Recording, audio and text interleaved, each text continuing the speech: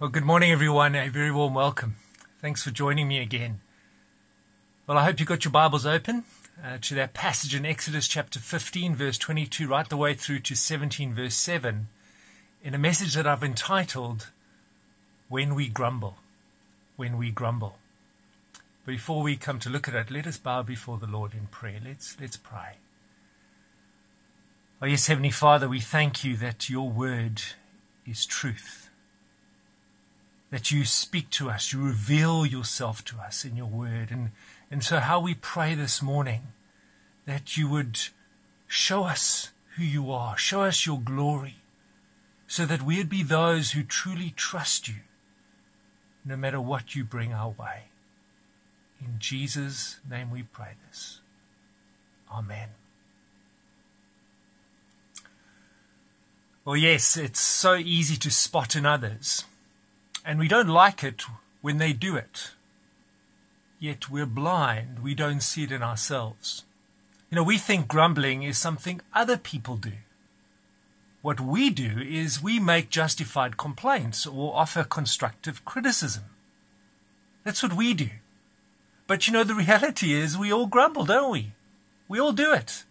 We grumble when it's too hot, when it's too cold, when it rains, and that's just about the weather. Maybe you don't grumble about the weather, but you grumble about something.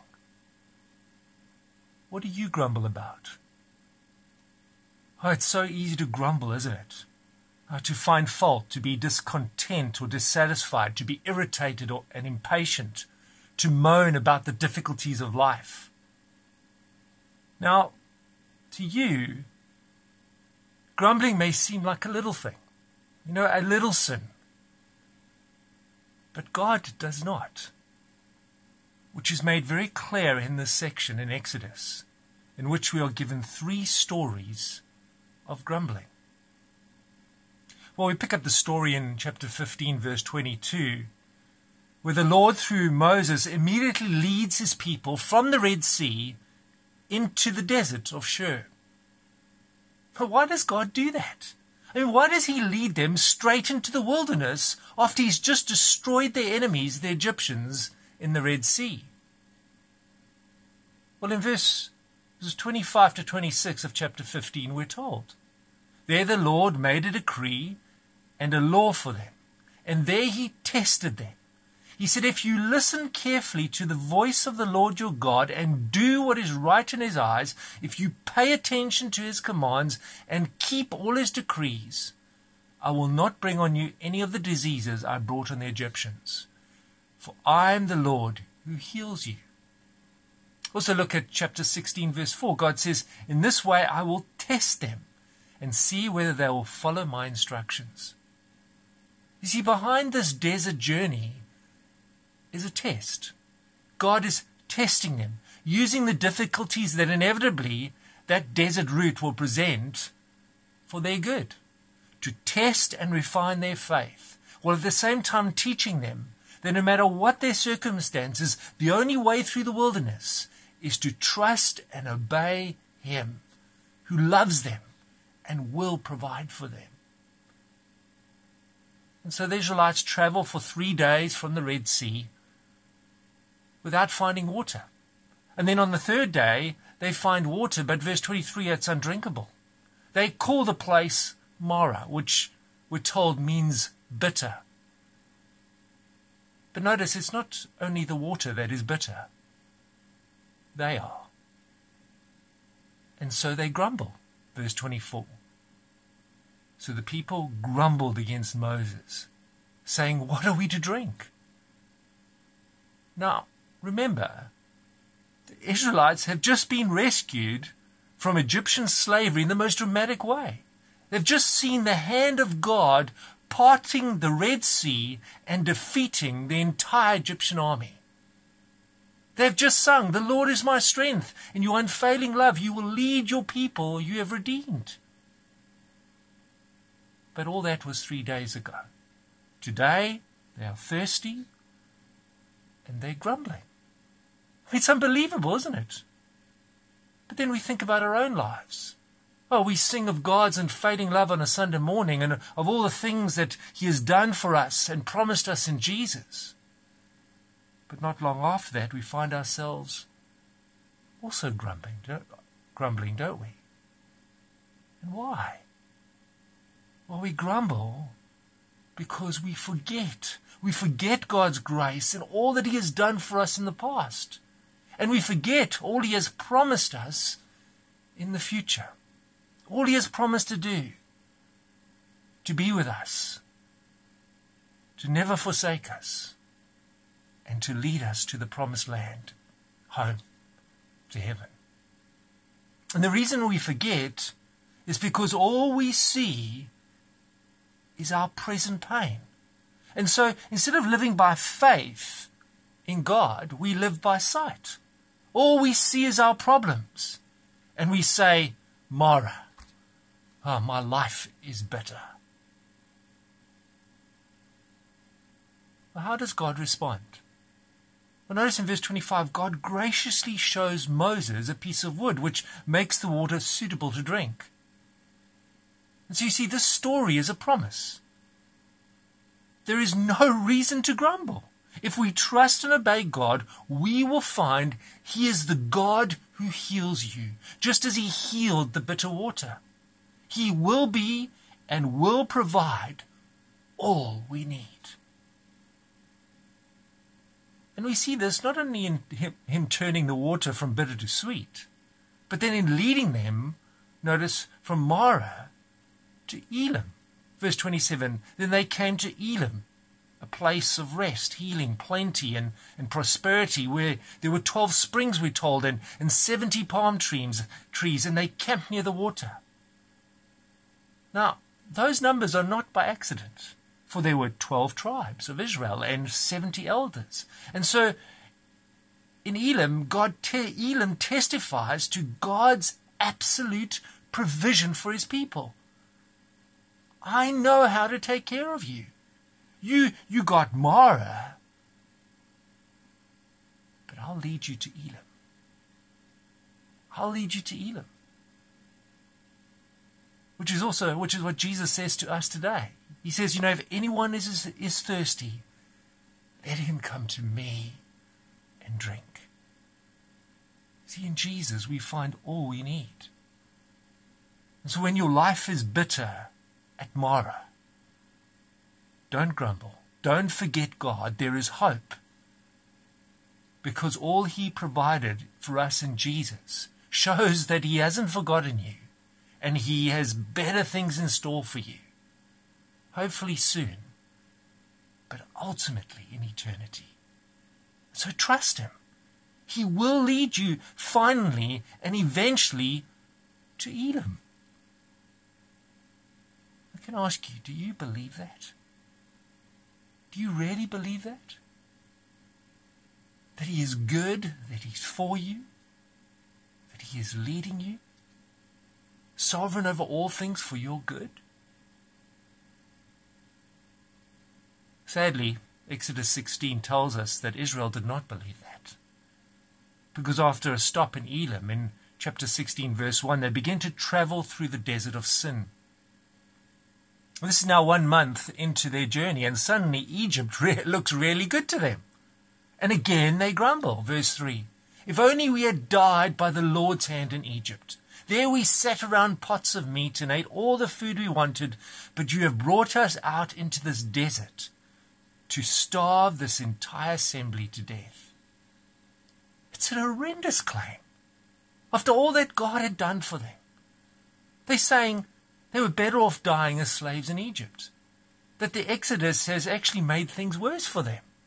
That they would rather live by sight in Egypt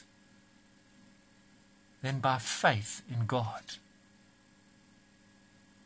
And notice here how grumbling often distorts the past. Yes, they may have had meat in Egypt, but they were singing a very different tune around those meat pots. In Exodus 2, they were groaning, we're told, and, and crying out in their slavery. Yes, like many grumblers today, they, they longed for the good old days. But what they forgot was that the good old days were not that good. And also notice how grumbling often exaggerates the present. You have brought us out into this desert to starve this entire assembly to death. See, they think they're about to die. But the truth is, I mean, that's an exaggeration. They're not exact, exactly on the brink of starvation with all the livestock that they still have.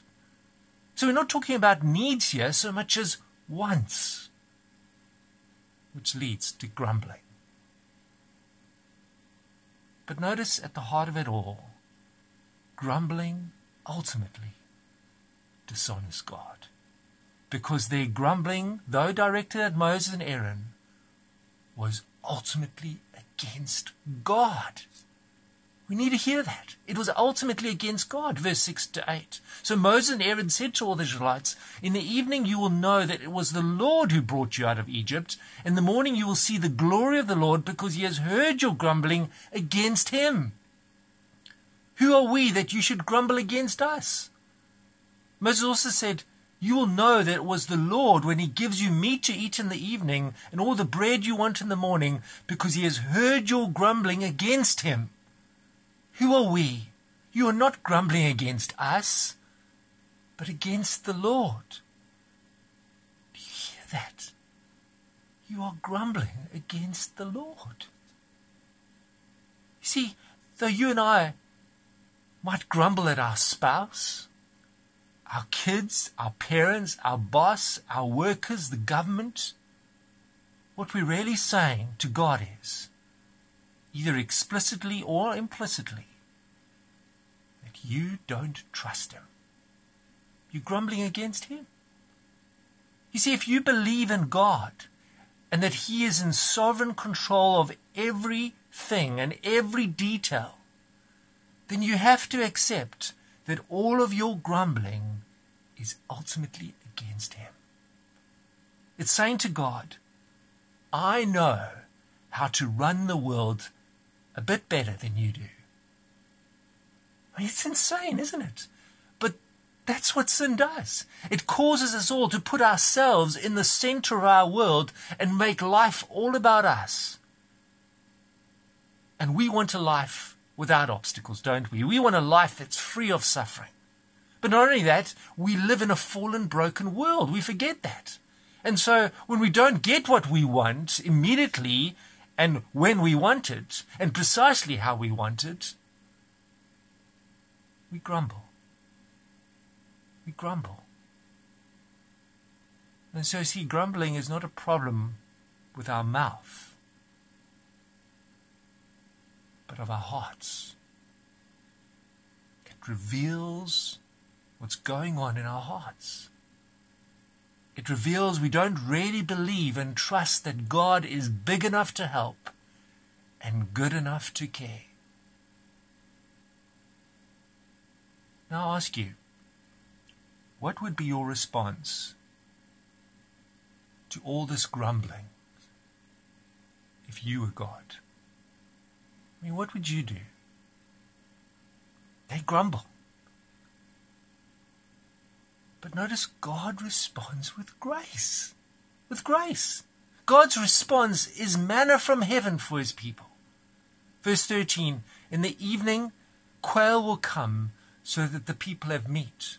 In verse 14, in the morning, dew will leave behind thin flakes like frost. The people call it manna, which sounds like the Hebrew for what is it? Because that's what they ask when they first see it. The answer to their question is it's, it's the bread that the Lord has given you to eat. It's a miracle. As God miraculously and generously and faithfully provides for his people. And just as before, manna is a test of their obedience and an invitation to trust God. But now, with the manna, this trust takes a particular form, notice in verse 4 to 6 of chapter 16. The Lord said to Moses, I will rain down bread from heaven for you. The people are to go out each day and gather enough for that day. In this way I will test them and see whether they will follow my instructions. On the sixth day they are to prepare what they bring in, and that is to be twice as much as they gather on the other days. You see, manna requires you to trust that God will provide today and then again tomorrow and then again the day after that. You have to trust God one day at a time. This is why verse 21 the leftover manna melted away, we're told, once everyone had gathered as much as they needed. Now, of course, some people don't listen and gather more than they need and get part of it until morning. See, they trust their efforts, their savings, their provision. They go to bed looking at their pot of manna saved for tomorrow, and that makes them feel all secure. But the next morning, what do they find? That it's full of maggots and has started to smell. You see, there's no alternative but to trust that God will provide more manna tomorrow, which He faithfully does just as He's promised. Well, the exception, you'll notice, is the seventh day. The Sabbath is to be a day of rest, so the people are to gather twice as much on the sixth day. On this day, and this day alone, the extra manna will keep for the next day. And so the Sabbath too is a test, you see, a test of their obedience and an invitation to trust God. And again, some don't listen because they don't trust God. Verse 27 Some of the people went out on the seventh day to gather it, but they found none. You see, one of the ways in which we demonstrate our trust in God to provide is our ability to rest. That we rest. Which also means, you see, if we can't rest, if we're always busy with our, with our work or with our, with our family, because we're not trusting God. So I ask you, do you trust Him enough to stop and rest? Rest in Him. So, here in the desert, you see, God is teaching his people to trust him daily, to give them each day their daily bread. And this is also what Jesus teaches us in Matthew 6. He says, Therefore, do not worry about tomorrow, for tomorrow will worry about itself. Each day has enough trouble of its own. Tomorrow is my worry, says Jesus. Which means we don't have to worry about how we will cope tomorrow, or next week, or next month, or next year. We can just take one day at a time and trust God for today, and He will give us grace for today. But understand, God doesn't give us grace today for tomorrow. You will have the grace for tomorrow when tomorrow comes for his mercies are new every morning. Great is his faithfulness.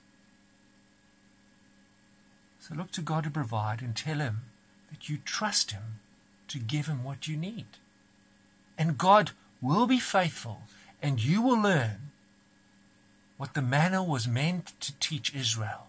Look at verse 12. Then you shall know that I am the Lord your God. You will see that He indeed is Lord, that you can trust Him to provide now and forever. But notice, still Israel will not learn. Still they do not trust God. Because then, again in chapter 17, verse 1, there's no water for the people to drink. And again they grumble. But now they also quarrel. They're openly hostile towards against Moses. Again, they, de- they demand water. Again, they want to return to Egypt. Now, remember in the first two stories, sto- to- stories, we're told that God tested Israel. But in this story, notice the Israelites test God. For in verse 2 there, Moses replies, Why do you quarrel with me? Why do you put the Lord to the test? See, Moses understands what they're doing, which is why in verse 7 he names the two places there as he does. We're told because they tested the Lord, saying, Is the Lord amongst us or not? Do you see? Do you see why grumbling is no small thing? Not only do we see how toxic grumbling is, how infectious it is, and, and how it grows and spreads to others, but also we see how grumbling hardens our hearts. Grumbling presumes to put God to the test so that we become the judge and God is in the dock. It questions his goodness. It puts God on trial and finds him guilty. And do you realize that? Do you see that? When you grumble, you are judging God. Is that really what you and I want to be doing? Rather, we need to take the opportunity to trust Him than to test Him. Well, in closing, in John chapter 6, verse 31 to 35, Jesus says, Our forefathers ate the man in the desert. As it is written, He gave them bread from heaven to eat. Jesus said to them, I tell you the truth, it's not Moses who has given you the bread from heaven, but it is my Father who gives you the true bread from heaven. For the bread of God is he who comes down from heaven and gives life to the world. Sir, they said, from now on give us this bread. Then Jesus declared, I am the bread of life. He who comes to me will never go hungry, and he who believes in me will never be thir- thirsty. Well, the truth is, we all fail the test, don't we? We're all guilty of grumbling and grumbling is no little sin. Don't underestimate what your grumbling is saying to God. But Jesus says the sign that God is real, the sign that He cares for you, that He forgives and wants a relationship with you, is the true bread of heaven. It's Him. Which means for you and I, the call to trust God is the call to trust his son Jesus, the one who was tested in every way, like Adam and Eve, like Israel, but did not fail. He did not grumble. You know, Isaiah 53 verse 7 says, He was oppressed and afflicted, yet he did not open his mouth. He was led like a lamb to the slaughter, and as a sheep before his shearers is silent, so he did not open his mouth. See, this is the hope of the gospel. On that cross, Jesus refused to grumble so that, in him there is forgiveness for your and my grumbling. We have no reason to grumble and every reason to be thankful. Especially because we do not deserve that and all that He has done for us. Such amazing grace. Now, knowing that, knowing what He's done for you on that cross, do you trust that God, who has given us His one and only Son, will provide for you today, no matter what? Tomorrow, no matter what? to all, to all eternity? Of course you can trust him. There is no greater good he could ever give you and me. And if he has done all that already, you can trust him to work for your good in all things. So resolve in your heart to trust him. To know what he is doing in the big things and the small. He knows what He is doing. And He is testing you. He's refining your faith. So don't grumble. Look instead to the cross. He has provided, and He will provide. Do you believe that? And all God's people say, Amen. Let's pray.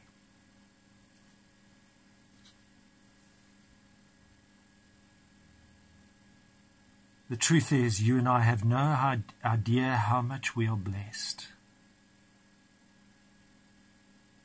And how blessed we are and yet we always grumble.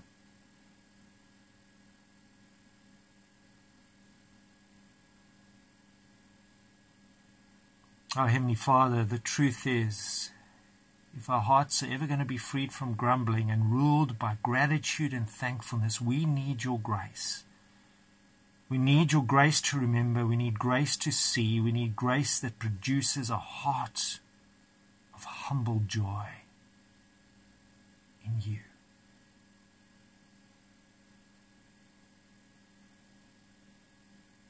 And so as we come around your table, won't you do that? Won't you help us to remember and see your amazing grace and fill our hearts with joy? In Jesus' name we pray this. Amen. Well, yes, friends, the truth is we have no reason to grumble. We have so much to be thankful for. And so we come now to celebrate that, and so as we celebrate the Lord's Supper together. And the Lord's Supper is a remembrance meal, a reminder that Jesus died for our sins on that cross, a reminder of the wonderful promise we have in Him, and that He is all we need. It's also a thankful meal. Rejoice, celebrate with gratitude for what God has done for us. It's also a, a meal looking forward as we proclaim Jesus' death until he returns. And it's also a family meal for God's family, for us. It means all who know and love the Lord Jesus, who are trusting in God's promise in Jesus, are invited to come and, and eat and drink. See, in this meal, we remember the gospel. Remember the gospel together. Remember with thanksgiving how on the night Jesus was betrayed, he was celebrating the Passover meal. At that meal, Jesus took the bread and ex- explained how the next day his body would be broken on that cross, that he would be stand in our place, and that he would take the punishment our sin deserves. All our sin, including our grumbling, so that we could be forgiven. He also took the cup and explained how his blood would be poured out as a new covenant for the for the forgiveness of sins, a new relationship with God. And so we come to the Lord's table, and as we do, it's necessary that we do examine our lives, that we repent of our sins, that we are trusting in the finished work of the Lord Jesus Christ alone for our forgiveness. And as we do, we reflect upon God's word and and we acknowledge the truth is you and I have grumbled. I've been so convicted about that this past week in my own life. Without realizing it, I've grumbled against God. And so have you. We have judged God, His plans. And we have, we have lived as though we needed something else, something more than Him. And so come, let's confess our sins to God in silent prayer. Let us, let us bow before Him and pray. Let's confess our sins to God.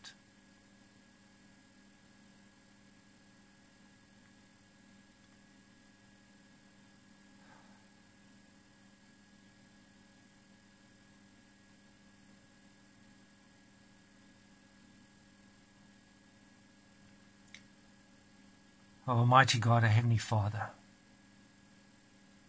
Of your infinite mercy, you gave your only Son, Jesus Christ, to suffer death upon that cross for our redemption, who made thereby his one offering of himself, never to be repeated, a full, perfect, and sufficient sacrifice for the sins of the whole world.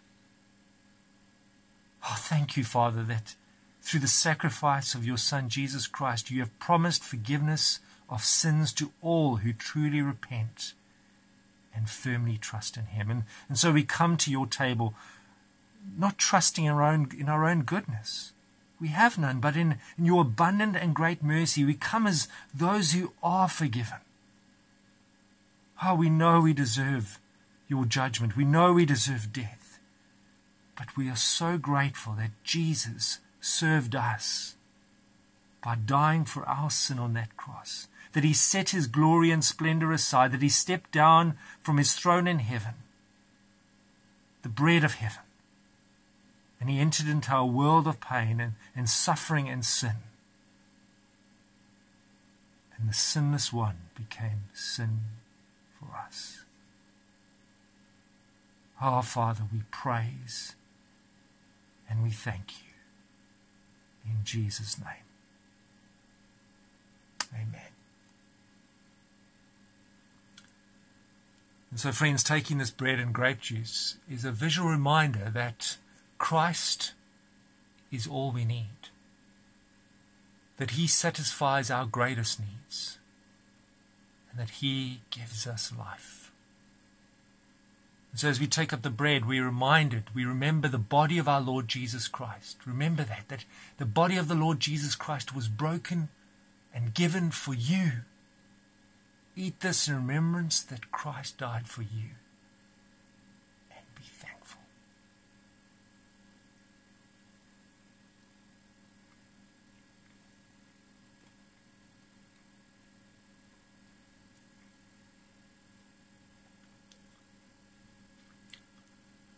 As we take up the grape juice, remember the blood, the blood of our Lord Jesus Christ. The blood of our Lord Jesus Christ that was shed for you and for me. Drink this in remembrance that Christ died for you and be thankful.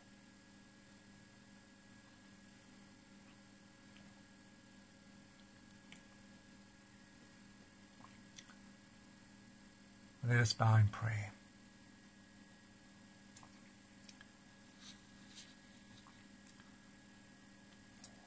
Oh, yes, Heavenly Father, we thank you because you gave your only Son to die for us on that cross for our redemption. Now, we thank you that by his death he has offered there the one perfect sacrifice for all that was needed to take away the sins of the world and to reconcile us to you. By rising to life, He has restored us to eternal life and has given us your promised Holy Spirit, the guarantee of our inheritance. And so, Father, we pray, give us such a sense of your grace that our hearts may be truly thankful, and that we show forth your praise not only with our lips, but in our lives by wholeheartedly trusting you,